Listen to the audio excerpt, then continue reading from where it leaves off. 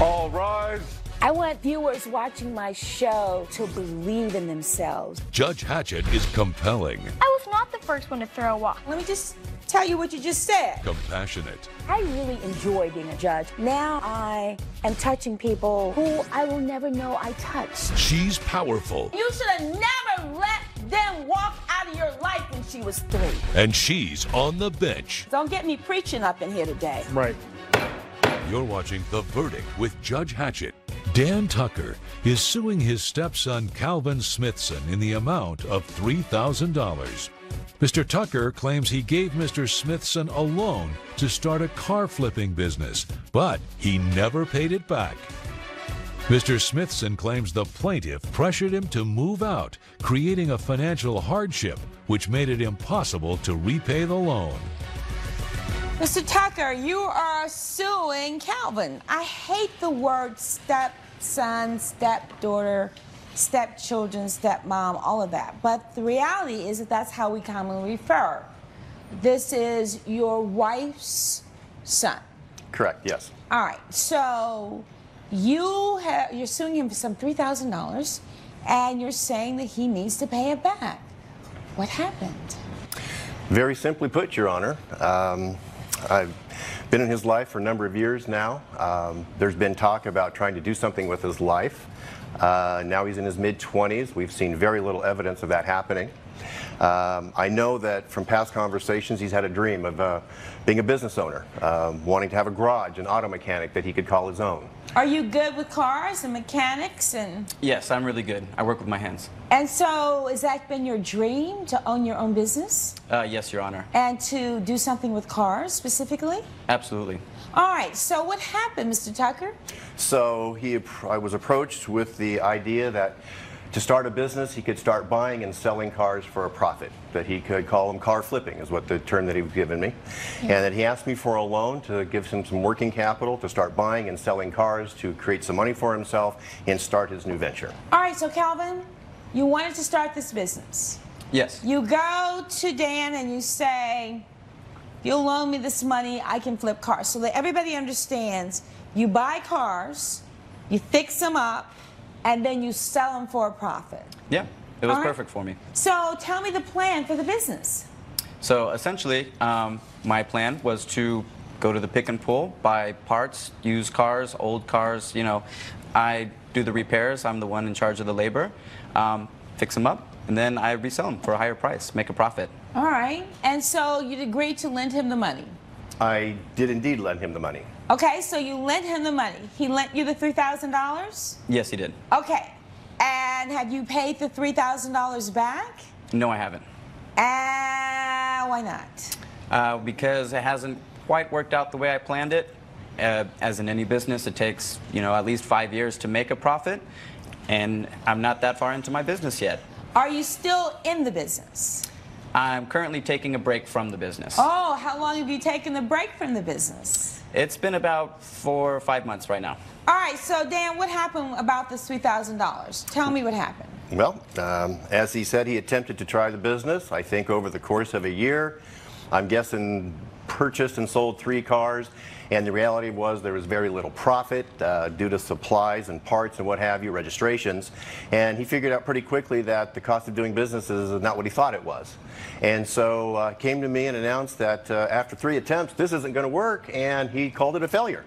And I said, no, I'm, I'm going to support you. I'm going to stick with it. You have to stick with it. And uh, he said, no, I'm going to walk away. And he promptly washed his hands of it and said, I'm not going to do this. I'll get another job and I'll pay you back I said I'm just taking a break. I didn't quit. It's not over. It's just I was in a hole and I'm in a bind. So I'm taking my time to kind of recoup and This is rebuild what I've I been listening to for the last year. Uh, Yeah. Excuse after excuse after excuse. It never changes. So up until this point, his only business venture was sitting on a couch playing video games. I saw a way out. I tried to help. Which is not true because So, what have you done for the last several years? I mean, you're in your mid 20s. How old are you? I'm 25. So, you're 25 years old. Did you finish high school? I did finish high school. So, what have you done from the time that you graduated from high school to the time that Dan loaned you the money? I've been working. You know, uh, I was the one who formulated the idea. You know, I had to learn how to be a mechanic and fix up cars in that meantime. You know, that's not something that everyone knows how to do. So, have you had a job since high school before you started doing this business? yes, absolutely. Uh, a steady job? Yeah, I, I'm a busser at a restaurant as well. Your Okay. Honor, he hasn't been able to hold down a job since day one. It's never been a, a surprise. The only thing he's held down is a couch. You so know, he lives with you and your wife? you couldn't hold down my mom, so He it's did, all well, he used to until he ran out. That was really not. That wasn't necessary. Well, he's not my dad. Well, but you've lived in his home. It was my mom's home before he moved in. So All right. it was so, my home. But it's your home. I get that. But it's also his home because he's married to your mother now. Coming up on The Verdict with Judge Hatchett. It sounds like to me that you've abandoned business. I haven't. I said I'm taking a break. Well, you're taking. A break. I'm a break. recouping. You're recouping. And later, Online high school diploma is what it says. Yeah, and, and at the end of the course, if they pass, they get a high school diploma. Basically from our school, yes.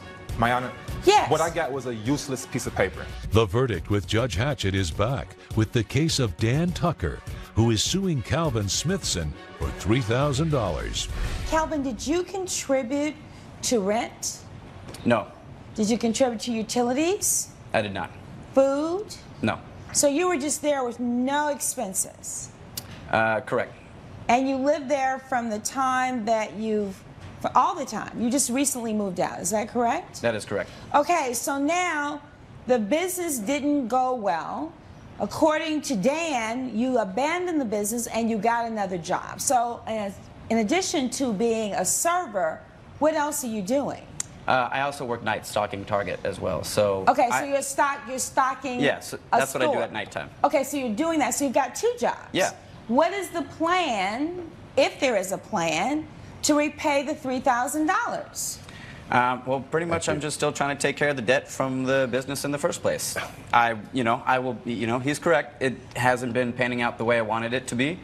It takes time to build a business. Your Honor, he's adding insult to injury. Not only did he move out, he moved in with his girlfriend who charged rent. He didn't pay any rent when, we, when he lived with us. So then he went out, he took on rent, additional expenses. Now he claims he works two jobs. I don't see it. While you're doing all of this, have you at least gone to Dan and said, "Let me work out a payment plan"? I haven't formulated one yet, but that's also because in the agreement, you know, no, first of all, nothing was written. Nothing's written in stone. It's a handshake agreement. But you, know? you acknowledged that he loaned you the three thousand. He did loan me, but he also didn't mention that he's the one who pressured me to do my business in the first place. I wasn't necessarily ready to get it started, but he wanted to make that push because he calls me lazy, like I'm not doing anything. Well, maybe the push was encouragement that you ought to do something other than being at home with not a really clear plan for your life. Well, not everybody has it figured out right away, you know? No, you're right. You're right. But tell me why you shouldn't pay him this money back. Because I don't have the money. uh, I, I have to work two jobs just to pretty much stay steady right now. So I don't understand where all this extra income is from anyway. And specifically in the agreement, I told him that I would pay him once the business is in profit. I didn't say I would give back any of the money until Your Honor, why I'm in the I- profit. Well, and it I'm not sounds there like yet. to me, I, I got this, I've got this, Mr. Tucker. It sounds like to me that you've abandoned the business. I haven't. I said I'm taking a break. Well, you're taking. I'm a break. recouping. You're recouping. In the meantime, you've been loaned this three thousand dollars. You're going to have to figure out a way to repay this three thousand dollars because I don't know how long this break is going to last. I mean, it's just temporary, and I'm already in the hole as it is. I get to- it. I get it. But your word ought to be your bond. That's what my daddy used to tell me all the time. So this is what's going to happen. You're going to have to come up with a payment plan. And I do not think that it is unreasonable for you to figure out how to pay $200 a month over 15 months. Judgment for the plaintiff in the amount of $3,000 stretched out in periodic payments monthly of $200 for the next 15 months. But let me say this you don't know when you're going to have to go back and depend on him for something. I know that he's your stepfather, he's married to your mother now, there may be some resentment, but he's right. You need to take responsibility, you need to stand on your own two feet, and I'm hoping that that's the path you're on now. That's exactly what Nothing I'm doing. further, we'll stand adjourned. Judge Hatchett has ruled in favor of the plaintiff. The defendant has been ordered to pay $3,000. Had I known you'd been hounding me for this money this whole time, I wouldn't even have taken that $3,000. Use this as a lesson in business and in life. When you say you're going to do something like pay me, do it. Coming up, Online high school diploma is what it says. Yeah, and, and at the end of the course, if they pass, they get a high school diploma, basically from our school. Yes. My Honor, Yes. what I got was a useless piece of paper. Franklin Brooks is suing Jonathan Renee in the amount of $1,130. Mr. Brooks claims Mr. Renee's GED online course is a scam and he wants his money back. Mr. Renee claims the plaintiff did not follow up with the school's career center, and that is why he did not get the results expected. Good day, Mr. Brooks. You are suing the defendant for some $1,130. Yes, ma'am. Yes, ma'am. And basically, you were trying to get your GED. Yes, ma'am. Yes, ma'am. And tell me, just start at the beginning. Tell me, How can I say this? I trying to go uh, take an online college course, and I've you know come across a couple of few, and if you can see here, this is a copy of the defendants and the one that I actually wanted to apply before to. Before I get there, I want to know your story. well, when I was 14, my mom passed away in a car accident. Oh my God. I'm so sorry. Yes, it's, it's, kind of hard to talk about, but um, at that moment, I knew that I had to grow up a little bit earlier. And when I was 16, I found a job, you know, gave me full time. I decided to drop out of high school. I did what I had to do to help me, my little sister, and my grandmother, because after my mom died, that's where we was placed in my grandmother's house. Mm-hmm. I always wanted to go to the military, though. I always wanted to serve my country. With that, I know that I needed a high school diploma or equivalent degree of some sort. Right. So I went to the local community college, and I thought I was going to try to start a program down there. But with my work schedule being so hectic the way it was, I she recommended that I do online courses. And who's she? Uh, the counselor. That Counselor yeah. the- okay. And uh, it, we come to like she uh, Jackson University. That was the one that she always raved about. That was the one she talked the most highly about. And from when she showed me on the computer at that moment, everything seemed great. Everything seemed perfect, you know. But I didn't have all the information to start right then and there. Right. So I waited till I got home to uh, fill out the application. When I got home, my computer, I don't know how I typed it in or whatever, but it led me to the defendant's website.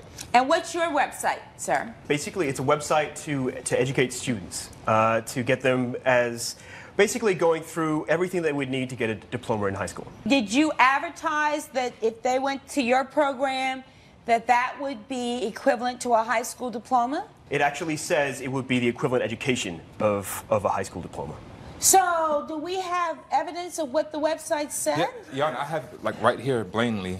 If you guys wanna, So, if I'm thinking that I need to have equivalent to a high school diploma mm-hmm. to go to the military, would I not believe that your program would satisfy that requirement? If you contacted our services, which Wait, you wait, can wait, at wait, any wait, time. wait. But this is an online program, yes? Can I go to this website and expect, I would expect that I would be able to get the equivalent of a high school diploma. Online high school diploma is what it says. Yeah, and, and at the end of the course, if they pass, they get a high school diploma, basically from our school, yes. my honor. Yes. What I got was a useless piece of paper. Coming up, Basically, it allows children and, and kids and students, even adult students, to actually go and learn. This isn't anything. This is nothing. a verdict with Judge Hatchett is back with the case of Franklin Brooks, who is suing Jonathan Renee for $1,130. Does this qualify as a high school diploma? As a, as a GED, no, no. But it, it is a high school diploma. It's our, it's our official Jackson College high school diploma. And who certified this? Where do you are you We did. certified in the state? In the state for, for, for teaching, yes, we are. Not, And for, are you certified to issue high school diplomas? not by the Then state. how can you go online and say online high school diploma? Because it is a diploma from our school. He told me with that with that degree that I would be able to uh, require a job after my, my, my training there. That no, he we has need you to go to the military. exactly. I have a job. The There's- job that he was requiring me, I already have that in my possession. I'm looking to like Better Step- yourself. Exactly. Step a step, take a step further. There, excuse me, ma'am. In, in, in, on my website, there's nowhere where it says that for military purposes or for for educational purposes in that sense. The website is purely diploma? educational. The idea is to, to fulfill the promise that a lot of high schools aren't doing. That's that's the issue. What my website does is is basically it allows children and, and kids and students, even adult students, to actually go and learn. This isn't anything.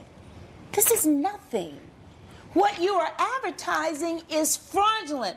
Online high school diploma, it doesn't say it's just a piece of paper that's not accredited or certified by anybody.